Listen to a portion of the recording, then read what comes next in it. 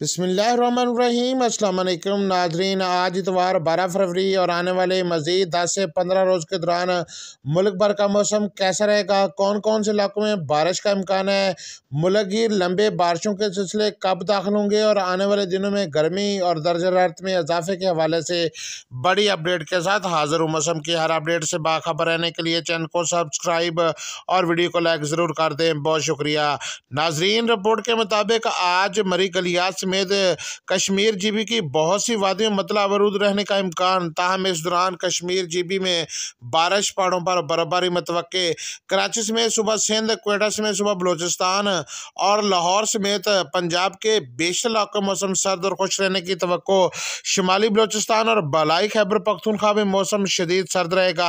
आने वाले दस से पंद्रह रोज़ के दौरान सिर्फ़ मुल्क के बालाई, शुमाली पहाड़ी इलाकों, कश्मीर जीबी और बलाई खैबर पख्तूनख्वा, मरी रावलपिंडी इस्लामाबाद खिता पटोहार, नारोवाल, सियालकोट समेत मशरकी और बालाई पंजाब में चंद मकाम पर, मगरबी सिलसिलों की वजह से बारिश और बाज़ मकाम पर यलाबारी और पहाड़ों पर बर्फबारी का इम्कान। तमाम वैदलवर्ज मुल्क के दीगर तमाम इलाकों मौसम खुश्क और सर्द रहेगा।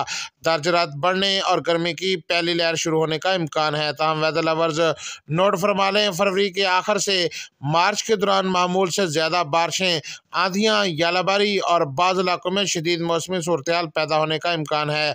अपने इलाके का मौसम जानने के लिए शहर का नाम कमेंट करें। हाजिर होंगे नई रिपोर्ट के साथ। अल्लाह हाफिज़।